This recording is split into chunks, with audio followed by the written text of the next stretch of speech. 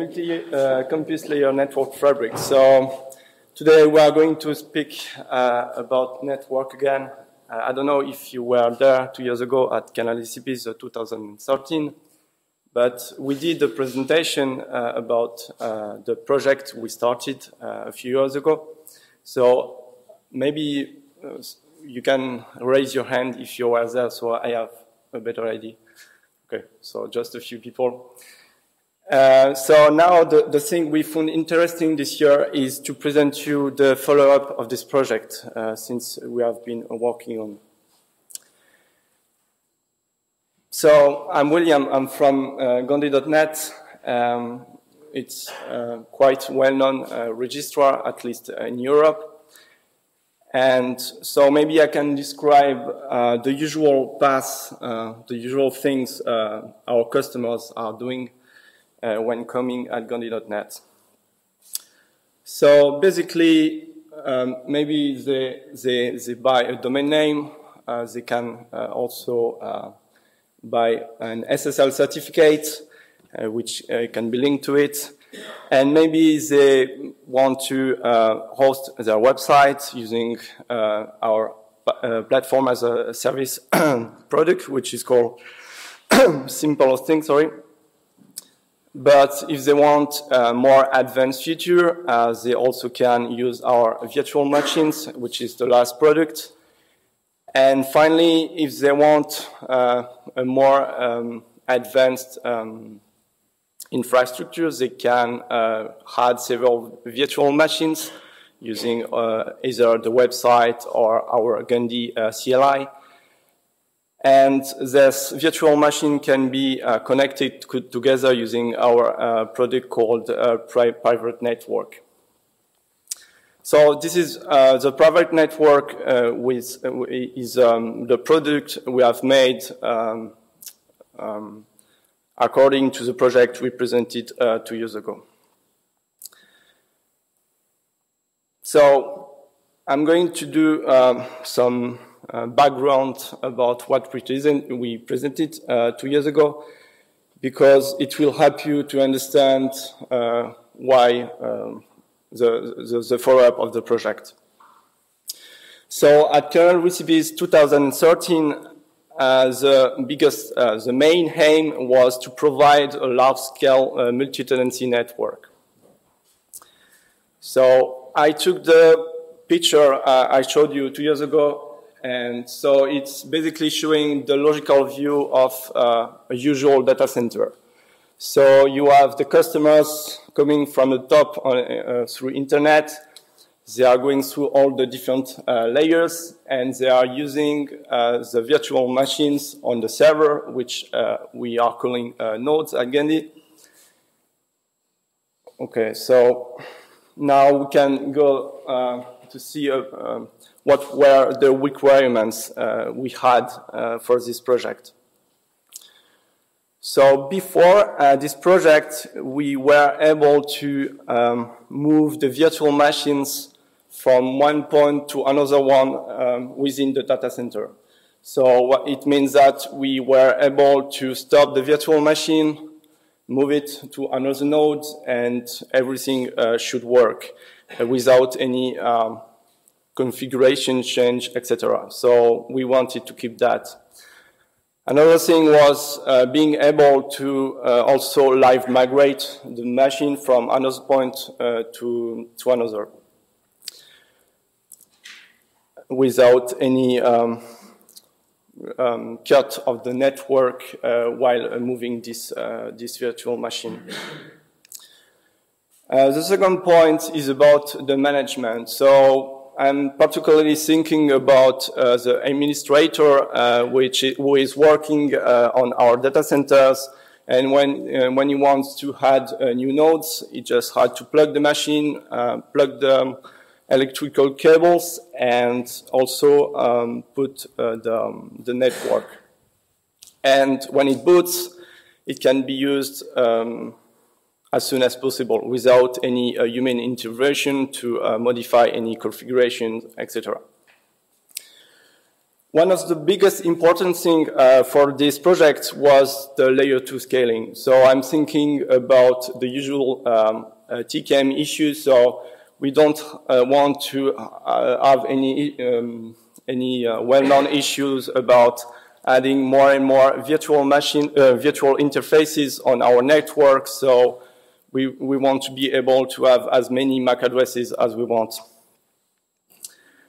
So the, the next point is about uh, the fault, resi fault, resilience. So it's somehow connected to, to the easy management because if uh, the guy in charge uh, to um, upgrade a machine or um, if one machine is going uh, down, crashing, etc., um, it has to be uh, zero configuration. So no human intervention uh, if there is a machine going down.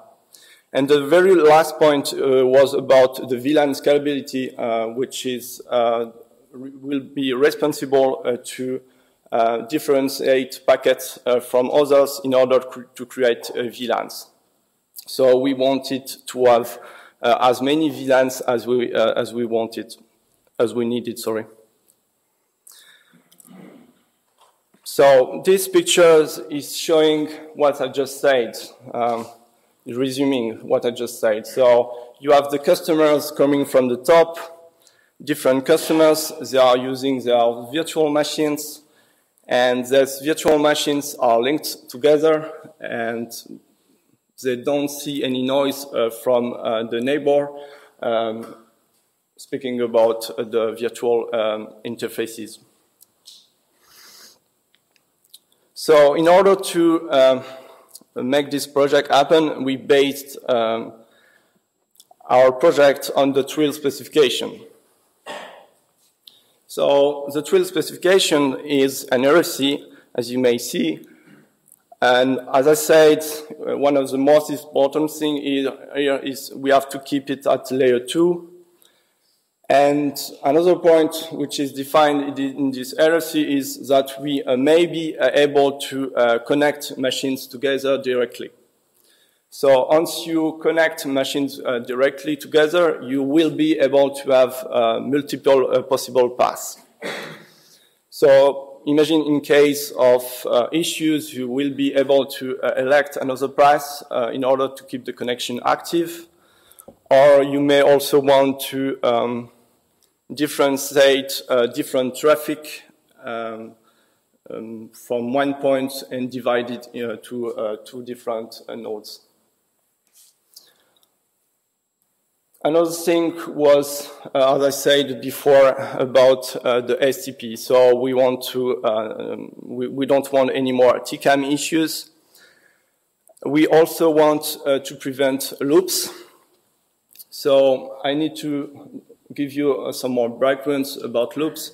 So the three specifications uh, are saying that uh, when you need uh, to send multicast packet on your network, you need to elect what we call uh, a DT route, uh, which is a distributed tree route. And it will be the root of the multicast tree, and this multicast tree will be common to all your network. So basically all your uh, nodes on your net tree network will be aware of uh, to which node he has to send the next packet to. So this is a common, common agreement which permit that. Um, I think I've been almost on all the points here. Um, automatic management, I said before. Um, now that we have seen uh, how is defined uh, uh, the TRILL uh, specifications, we may uh, have a look at the header. So at the bottom here, you have the uh, quite well-known, I mean, I imagine for everyone here, the Ethernet frame. So that's a package which could be um, um, output from a virtual machine on its um, virtual interface. And once it comes uh, on, on, on, the node side, we will encapsulate the TRILL header. Um, it's important to note that uh, here we never touch the packet uh, from the virtual machine. We, never modify it. Um, to better understand that, that uh, I, I, forgot to, to, to, add that instead of uh, implementing uh, the TRILL specifications on our switches, we choose to move the intelligence from the switches uh, to the nodes, which are uh, running the virtual machines. So basically, the nodes are um, uh, small, small software switches. Now I may go through a bit more details of the TRILL header. So it's called a VNT encapsulation for a virtual network TRILL uh, encapsulation. We may uh, go through the first one uh, here with this thing, the TRILL header. So I will not detail all the different fields because it's not important to understand the presentation, but we may note that have, uh, you have the egress and uh, ingress nickname, which are, um, so the nickname are the identifier of each node. So it represents the identity of the node on the network and it permits uh, the layer 2 uh, routing. Um, it's coded on 16 bits uh, which is which permits uh, about uh, 65 more than 65,000 different nicknames on your network. And it also explains one more I will use later, campus, for the size, for the possible size of the virtual network. The second field uh, is uh, the VNT header, uh, which is also not really important in this presentation, but uh, it's a reminder about the VLAN scalability. So we added uh, this, um, this VNT header in order to permit um, uh, to create as many VLANs as we wanted. So it's, uh, it's using uh, an, another identifier, which is called VNI for Virtual Network Identifier, and it's coded on uh, 24 bits, which permits up to 60 million different VLANs. So let's go back to one of the previous pictures I showed you. So I don't know if you remember uh, the very first, first pictures I showed you about the logical view of a data center. So now if you apply the TRILL specifications, uh, you will be able to, um, um, to change the logical view of your data center. So once you apply the TRILL specifications, that's what you uh, obtain. So we have just added a, a new component called RBridge, and it's uh, added uh, on our nodes, and it's formed uh, the TRILL network. So now that I've gave you the background of the project uh, two years ago, we now have uh, a projection working with different uh, TRILL network working. This network are working separately, so that's different entities. Maybe that uh, we, we, we, thought that maybe a new improvement which can be uh, made now is um, to add gateways in order to connect the, um, the different um, data center together.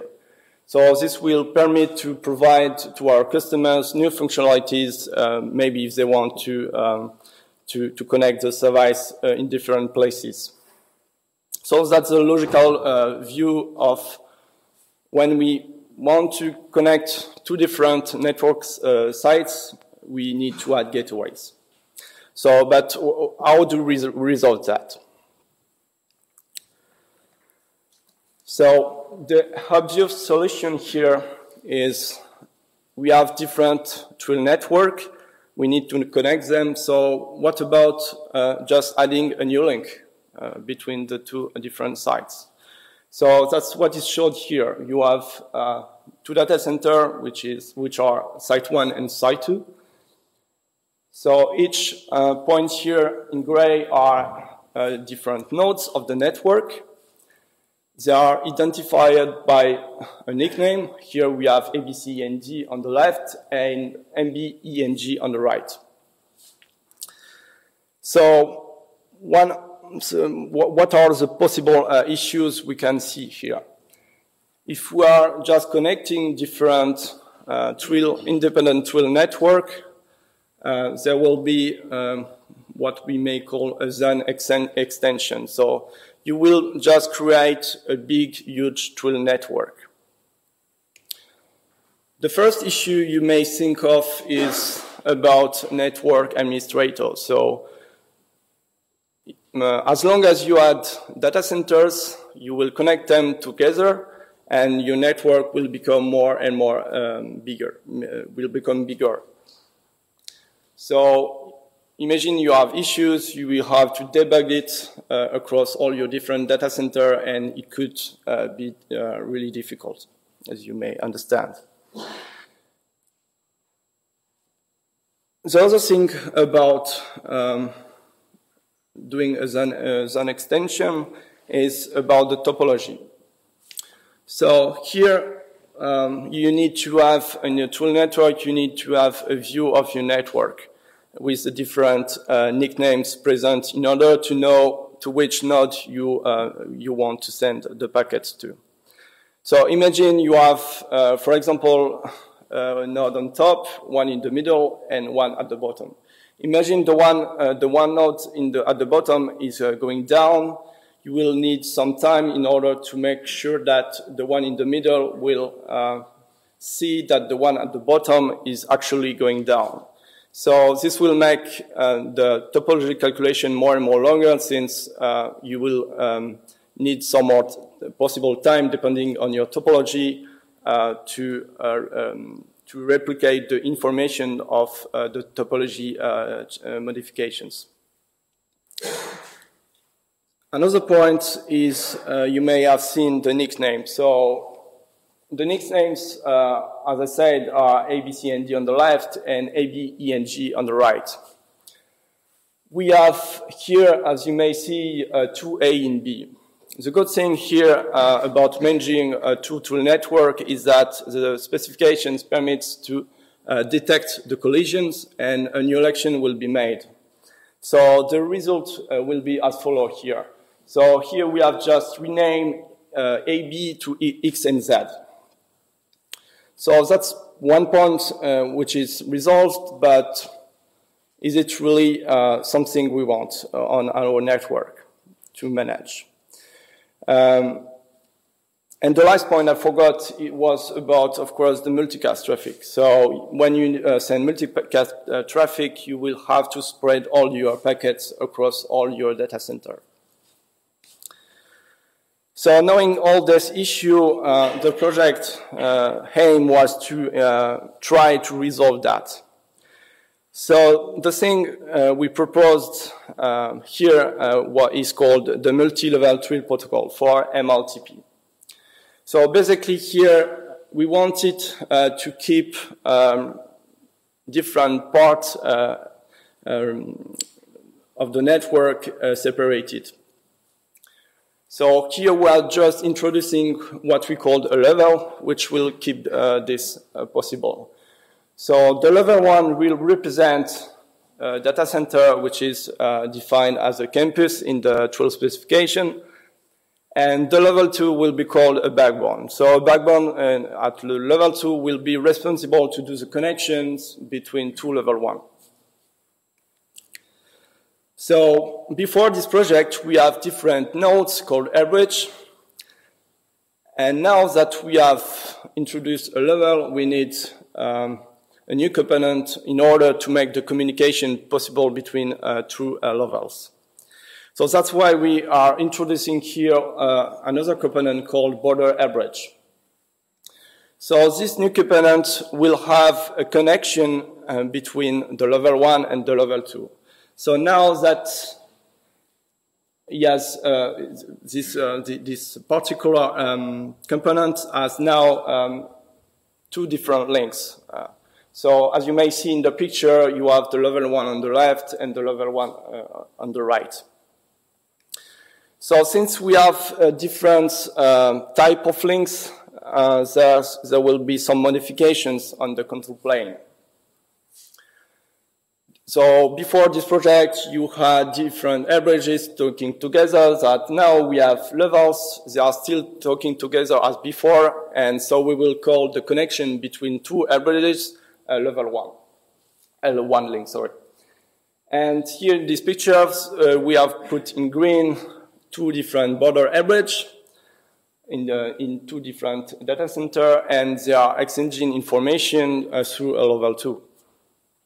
And they also may need to exchange informations. I will detail that uh, in the next slides. Um, uh, and what we call an L1 and L2 link, since they have a connection in the, in the two different levels.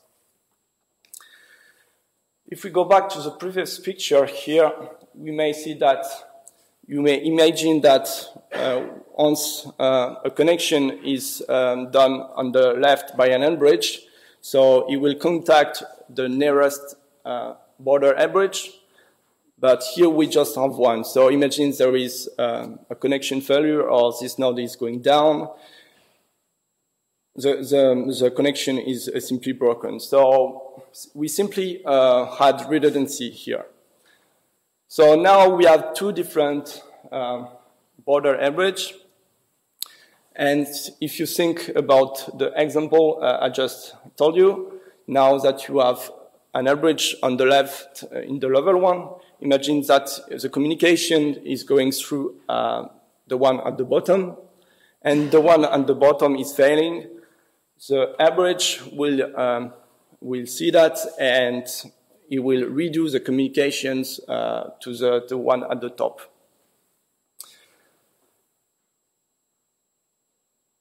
So that's what I just said about uh, the failing issues. So in order to, to, to make sure that we don't lose the connections, we decided that uh, we could move the intelligence from the level one to the level two. What does that mean? It means that we just um, we are introducing what we call a pseudo gateway, which will be responsible uh, to uh, talk to the outside world. So imagine that now you have RBridge uh, which want to communicate to the outside world. It will communicate to the gateway. So how does it work? That the, the different border RBridge in your network will uh, at first communicate together uh, through the level one and two uh, link in order to uh, create a nickname, a unique nickname, which will be presented uh, to other parts of the network. So now the RBridge on the left will just see uh, one single possible RBridge, a border RBridge, and so imagine that the communications is going through the one at the bottom. If it fails, the communications will be uh, then possible on the top, and the one on the top will be aware of the, all the, the things at, uh, that happened before. So imagine a case where you are building uh, your uh, forwarding table. Uh, the information will be exchanged so that the one at the top uh, will not have to redo all the, the discovering.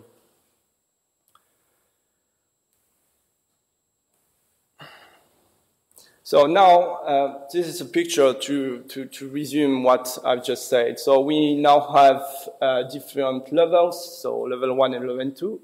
Here we have put uh, different uh, border RBridge which are um, which are connected together and are seen as uh, pseudo gateways. And uh, that's it. now I wanted to um, show you to remind you, uh, one of the first uh, example I, I, talked about the, the, possible issues. I don't know if you uh, remember um, the example where you had different nicknames on the left and uh, possible collision on the right when you were managing uh, two different uh, TRILL network. So now that we have levels, things are a bit different. We are going to, to see what's going on now. At the very start, I told you about the root, which is responsible to, um, to decide, uh, if I may say, uh, a, multi, a common multicast tree, which will be common to all the TRILL network. So now that we have uh, levels, we will have a DT root uh, per level. So here in this picture, you can see that on the left, you have uh, a multicast tree, and also on the right, So here we have elected uh, the, the pseudo gateway 22 as a DT root, and it's connected, directly connected to 24 and also 20. On the right is the same thing, but we have elected uh, 88, which is connected to 20 and 47. And so it's, it's the very same thing in the middle, but it's a very simple example here. So 22 is the uh, DT root of this level, and is connected to uh, 47. So you may have seen that uh, now we have two RBridge with the same nickname, so 20 on the uh, very left and one on the very right. So imagine that you are sending uh, packets from 24, multicast packet from 24 to 88. So just it's simple, you have to follow the multicast tree. So 24, we simply uh, send the packets to 22. 22 is a pseudo gateway, so it will just duplicate the packet and spread it on the level one.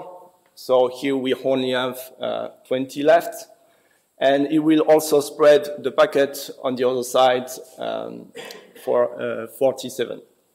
And 47 will act in the exact same way. It will spread uh, all the packets uh, in the in the level one. So here we will follow the the, the, the multicast tree. So it will go to 88 and, the, and then 20. What's important to note here about the very first example about the, the, the, the nickname collision here, here is that we never have any knowledge uh, in the uh, right side that there is a nickname 20. What I mean is when the packets are coming from 20 to 22, so 22 will act as a gateway, and the source will be replaced by itself, and the packet will be sent on the other side um, normally, and the packet will, uh, will never have any uh, knowledge of possible 20 uh, on the left. So what if we change a little, a little bit this example? We just exchange the uh, pseudo gateway uh, 47 uh, with the 20 on the right, on the right side.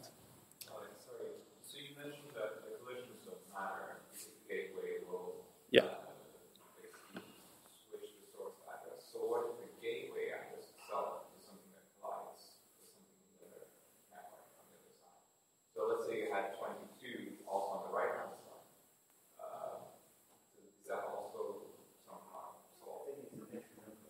Yes, that's exact this example I was going to talk about.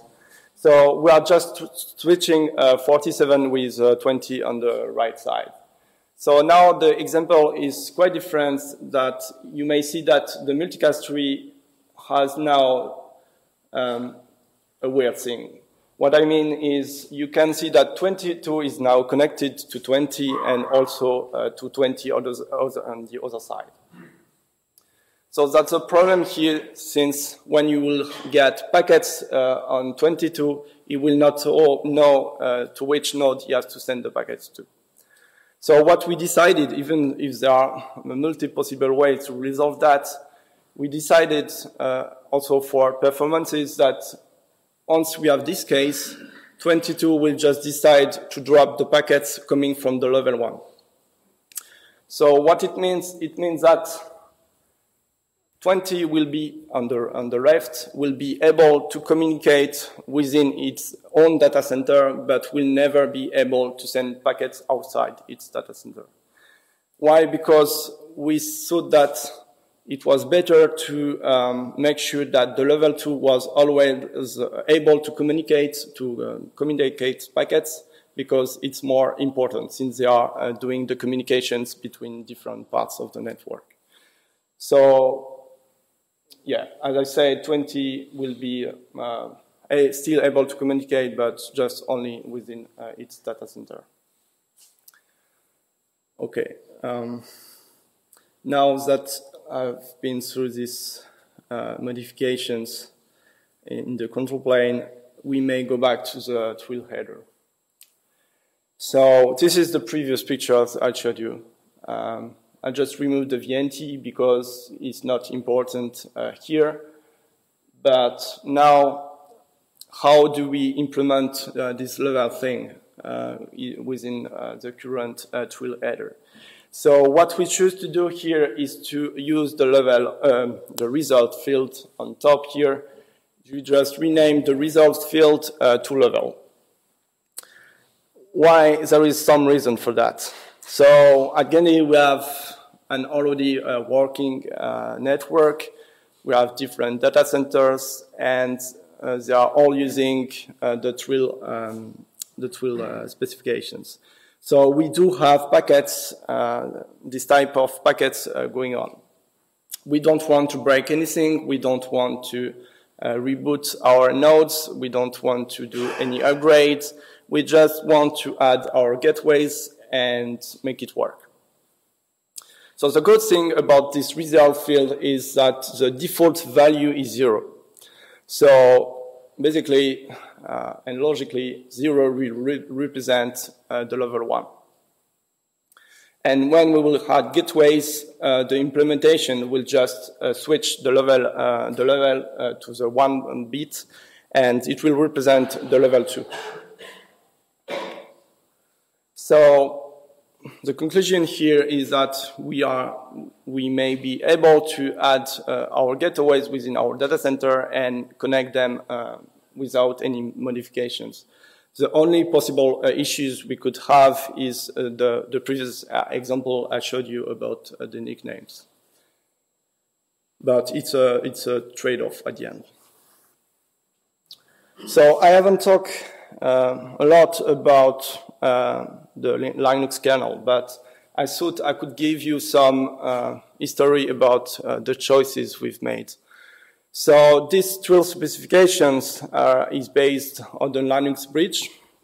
So we were, um, why? Because we were using the Linux bridge from many years ago uh, to connect uh, our virtual machines and also our containers. So we found really convenient to be able to uh, switch, uh, if I may say, uh, um, the, the previous network uh, to a TRILL net, network.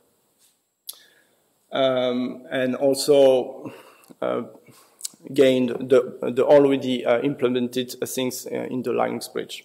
So we have been maintaining this version along the years, so, uh, from uh, 3.4 to uh, 4.1 today.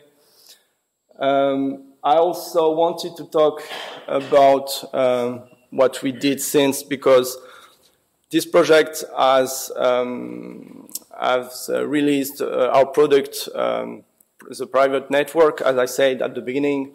But now uh, that we have some more experience, uh, we are thinking about um, pushing our public uh, network within a TRILL network. To better understand that, I should explain you a bit more uh, how it works at Gandi. When we need to add a public range uh, for our customers, we uh, are setting up a new VLAN, a new regular VLAN, if I may say. And so all the switches needs to be updated uh, for the configurations and also the nodes and also maybe the ACL, etc. The benefits of pushing the public network within a TRILL network it means that we may be able to create a unique uh, public network uh, across uh, our data center.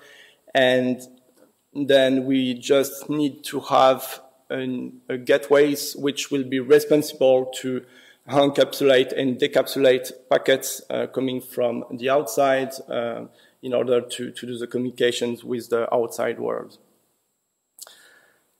Um, so basically, it should make the things uh, uh, easier to manage. Um, these gateways could be also, uh, at least in our experimentations, we have put this in a virtual machine, so it permits to think about the future. Imagine if you want, uh, if we want to do uh, new uh, implementations using another kernel. I'm thinking about, for example, unikernels like OSV to have better performances, etc. So speaking about the future thing, I wanted to talk uh, about what we may uh, improve in the next uh, following years. So speaking about first the control plane, um, with our experience now, and we, if we see what's going on on the, the, the real world, Open vSwitch, uh, which is more uh, attractive uh, according to uh, what the people, the developers are uh, willing to, to use uh, when starting a new project, especially speaking about SDN, etc. It should be, it could be more attractive to do an implementation to make it work with Open vSwitch. So in order to res resolve that, we may think about doing a new implementation which will uh, create uh, a separated um, device like, like, like uh, they do with uh, VXLAN. And uh, this device will be able to work with the Linux bridge and also Open vSwitch. I also mentioned the central view because um, speaking about Open vSwitch, you may think about uh, a possible way to have your the OpenFlow uh, plugin and meaning that we could have a central, a central view of your network. And so, for example, if you are thinking about a DDoS uh, case, you will be able uh, to uh, react more easily and uh, faster uh, when uh, such events happens. Um, regarding specifically, I mean, the, the, the TRILL specifications are all uh, decentralized. So when you need to push something, uh, you need to, do, to wait sometimes before uh, every node is aware of uh, a new possible routes. With a new implementations, with a central view, you will be able to push the route uh, as fast, uh, faster than, than the current decentralized implementation. And the last point I wanted to talk about is about the data, data plane implementation. So at the beginning, I talked to you about uh, the ability for you to have cables between your nodes directly. So it's really, it could be convenient, but in our case, uh, for example, uh, you, will, you may have packets going through one node to another, and the packets will have to go uh, from your uh, network cards to the Linux kernel, and so this will have overheads before it just uh, will see that the packet is not for, for him. So he will have to reroute this. So basically, we are thinking about um, moving the data plane outside and move it within network programmable cards in order to, to, to make, uh, to have better uh, latency. I just wanted to finish this uh, presentation uh, just by noting that all this work is uh, uh, based on uh, eCloudNet paper we have uh, wrote and that we will present uh, next, uh, next week. All the TRILL sources are available on our, on our GitHub uh, as, as always. And I think I'm done with this presentation. Thank you.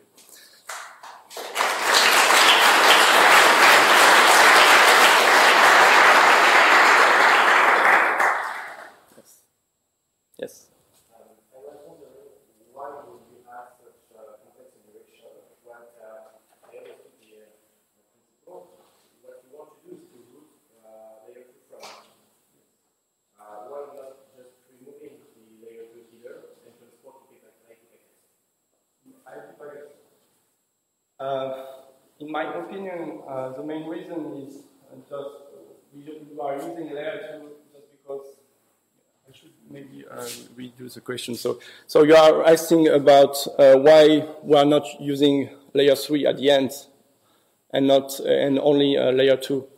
So in my opinion, the main reason is that the main goal here, we know for which size we are going to, to, to work. I mean, it's a data center view, so we don't need um, much, uh, that much nodes. We uh, already have uh, 65,000 possible nodes. So using the layer 2 is way enough. So I don't think um, using the layer 3, uh, it's possible, but I don't think uh, we will benefit that much from the layer 3. Yes. Yes.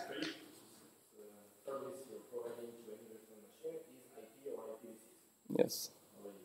Yes. So, um, maintaining and trying to route uh, layer 2 frames uh, have uh, a need for new protocols, uh, where you already have routing protocols in place and you can cover uh, for IP and IPv6. Um, why trying to separate uh, and to uh, recreate as a layer 2 problems that have already been solved as a layer 3? Mm, I think it's the same view of, I don't know, do you know VXLAN? VXLAN, which is using layer 3. Uh, no, sorry, it's layer 3. That's what VXLAN is. It's, it's a layer two uh, switching protocol. It's using uh, layer 3. Sorry. but I don't really get what, what you want what you want to know here. Um, I think it's a specific use case uh, to keep the layer 2 in place on such a wide scale.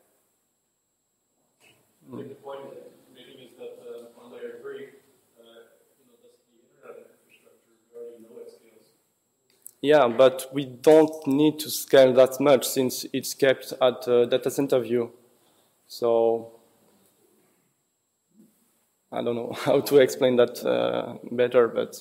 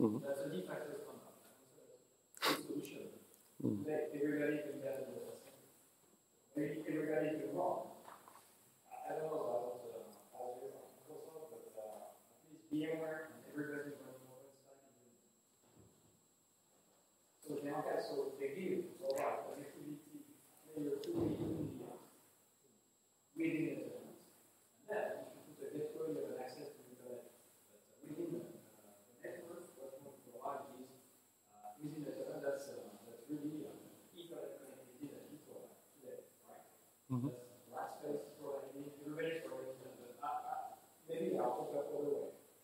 Well, there are other ways to, do, to provide a similar service using only uh, layer 3 protocols. Uh, but I, I find um, it's uh, ve- very good and work uh, really hard to, to try to, to make layer 2 stick uh, and, and converge uh, fast enough for the use case, but maybe uh, doesn't say so in um, removing the layer 2 problems.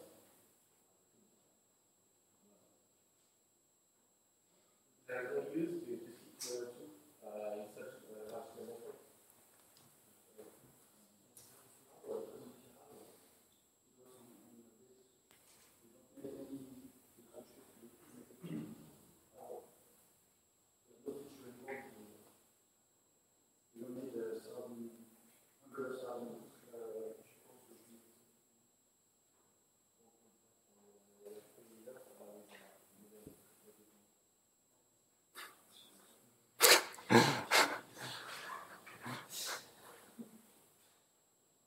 another question maybe?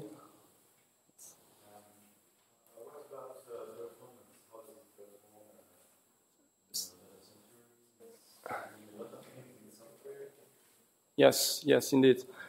Uh, so, if I remember correctly, um, the last test we have done, uh, especially for the public traffic using the Linux kernel, was uh, about uh, a bit less than 800,000 uh, packets per second uh, with 1,500 bytes.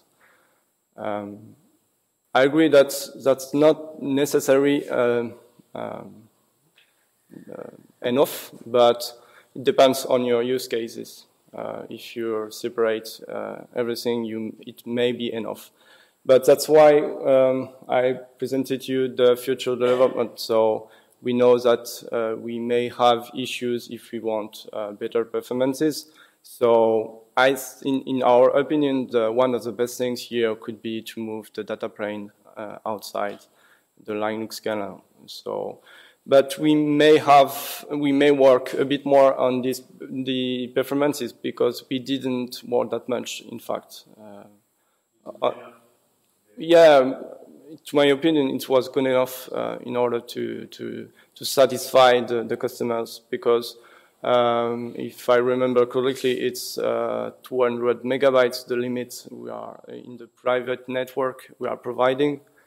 So it was sufficient uh, at that time. Now that we are pushing the, the public network, uh, it's, it's, still an experimentation, but uh, that's the numbers I told you.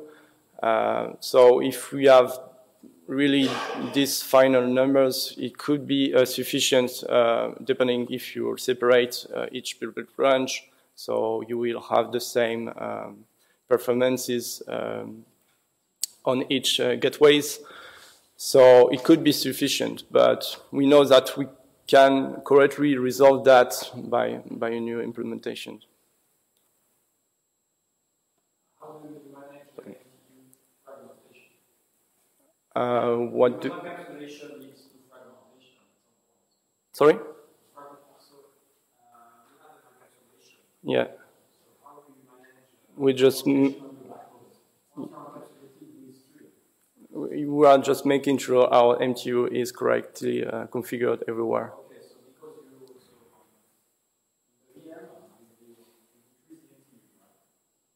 No, we don't touch anything in the VM. So the important part here is uh, from the node side. So we are just making sure that uh, the MTU on every node on the network are correct, uh, are big enough to, to, to, to welcome the packets we are encapsulated. The VM is making the packets that are 1500 bytes, shipping them off. That part. Yeah, but- it's adding on something on top of that, you have some headroom. Yes, yes, we do have, but uh, um, I mean the MTU is limited on the VM side, so we know that uh, the maximum size uh, which could be output. Yeah, if you don't have VM to do full 9K jumbo fragments, then you're screwed. But Yes, if you do it in 50 gallons, yes, that's right. That's right. So since we know the, the maximum, we we don't care. You talked about how the multicast works when you've got nodes with encrypted nicknames in different campuses. How does that work for unicast? If, if a customer has you know, VM in two different campuses, Yes. and we know between them that you want packet basically to go hmm from one to the other, how does that work? If those hosts have the same. Um, it's about the same reason. Uh, when speaking about different data center, when the packets will go from one node to uh, the to the backbone, um, the source will be replaced by the nickname from uh, the backbone, from the pseudo gateway. Sorry. So when the packets will come to the to the end, uh, it will not know that there was a source which has the very same nickname. So it's so a destination and a nickname which also exists in the source campus, that just won't work. um, the dest- um, what was the destination? Um, I don't think it will cause issues. Um, I have to remind. Uh, uh, On your diagram, you have the Yes. 20 on both sides. and Yes. You have the 88 at the bottom. Yeah. So 20 of the left communicate send uh, something to 88 at the bottom. Uh, maybe 88 will respond to 20 on the data center. Yeah, I don't exactly remind me uh, the, the, the details of it, but I should rework an example with the forwarding table in order to resolve that. Um, Because I'm not quite sure why you still don't have a problem, yes. guess it works for multi-house, but I don't see how it works.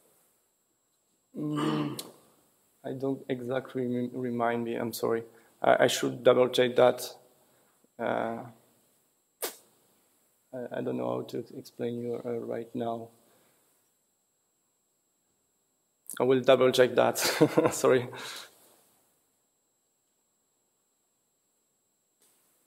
Any other questions?